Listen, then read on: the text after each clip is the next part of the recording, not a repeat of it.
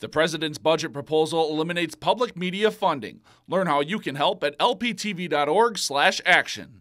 A central Minnesota man has died after being struck by a train near Cushing. The Morrison County Sheriff's Office says that around 3 this morning, they responded to a report that a man was struck on the railroad tracks near Highway 10 and 60th Avenue in Cushing Township. 35-year-old Kyle Schultz of Sauk Centre was pronounced dead at the scene.